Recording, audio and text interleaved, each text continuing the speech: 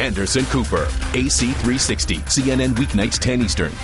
People working with the UN say to me, look, there's a lack of leadership on the ground on the part of the Haitian government. There's a lack of coordination among NGOs. Uh, there's well, I agree with that, but keep in mind, I have. It's not for lack of effort. We have met with uh, the groups in the United States representing over 90% of the funds spent by NGOs here.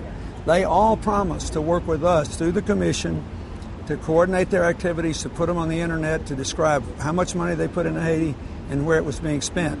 Because unless they're coordinated and working with you, exactly. it makes no sense. A lot of NGOs are also running into problems when they're bringing in emergency supplies, building supplies. They're getting hit at customs with taxes or huge storage fees. We brought in uh, for uh, for one organization five thousand dollars worth of, of equipment for building, and it wasn't pre-approved, so we they got, let them pay. We got hit up for thousand dollars in fees, twenty percent of the cost, and a lot of NGOs yeah. say that happens, and the government gets that storage fee money.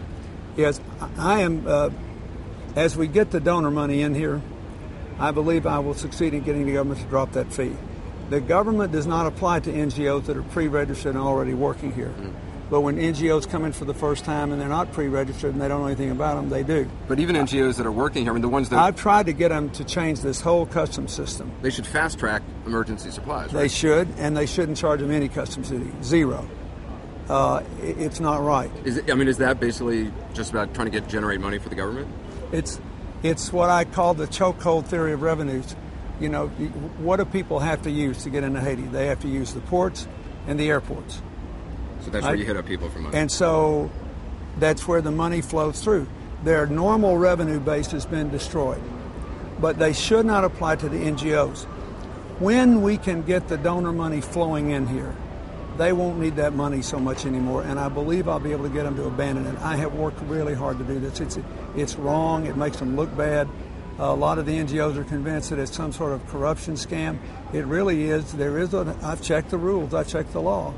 They can do it, but I want them to leave it, and I think they will leave it as soon as we get a revenue flow. As soon as I can say, okay, look, for the next 18 months, here's how much money is coming into Haiti.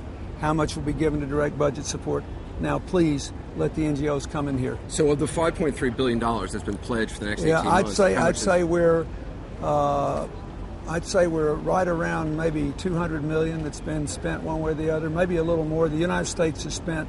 Brazil's given 155 million. The United States has so that's only about five percent of the money has yeah, actually shown up. Yeah, over 100 uh, million that they spent on housing and things. And that's what you're going to be focusing on the next couple of weeks, trying yes. to pressure those governments. Yes, I'm going to call all those governments and say, the ones who said they'll give money to support the Haitian government, I want to try to get them to give the money, and I'm going to try to get the others to give me a schedule for when they'll release it. Probably the most visible sign, though, of, of things not moving along fast enough is the rubble. Basically, the rubble is still yes. there. There's a huge amount of rubble. People can't move back into homes. There is, and you know, the the president let these uh, 100 trucks go today, which he got on the very good terms from the Dominican Republic, which will enable people to move their own rubble, and the cost will be about a third what it's, the UN is UN's embedded cost was.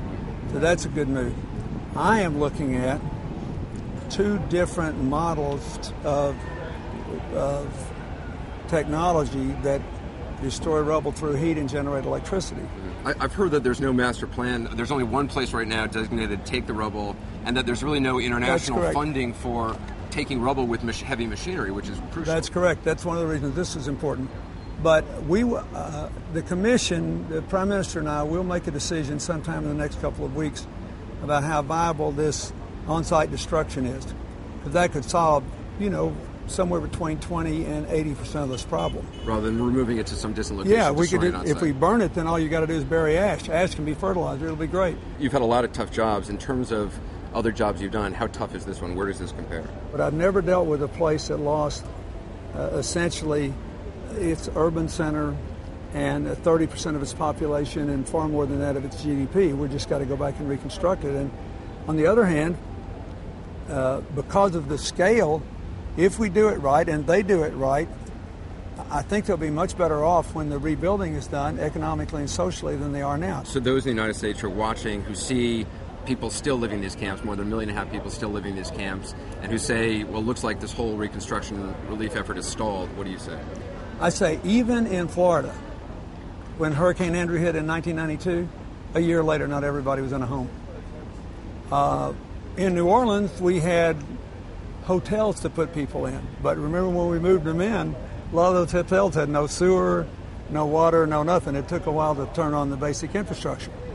So when you come to Haiti, a place where 85% of the people did not have electricity in their homes before the earthquake, they should understand that this is going to be more like the tsunami. It's going to take a while to move all those people out of the out of the uh, camps, and they should have a more.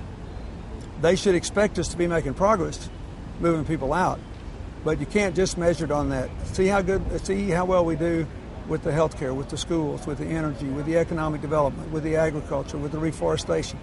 Judge us on a whole range of things because housing is always the hardest and always takes the longest. Do you think people around the world have forgotten about Haiti? No, but I think it's easy for them to think, oh, well, look, they still have all these problems. The, uh, it, it's sort of a, to be patronizing, say that it's one of those the poor will always be with us sort of things. Or uh, what do you expect? These people are gifted, they're talented. You saw we had, uh, we had the head of the local police was honored today. He went back to work two days after he lost two of his own children. The finance minister in this government went back to work two days after he lost his 10 year old son in the earthquake. These, these folks have done everything they've been asked to do and then some. So I wouldn't give up on them. I think that the, if the donors will honor their commitments and we on the commission can do a good job, and none of these international bodies will delay things too much, I think you'll see good results.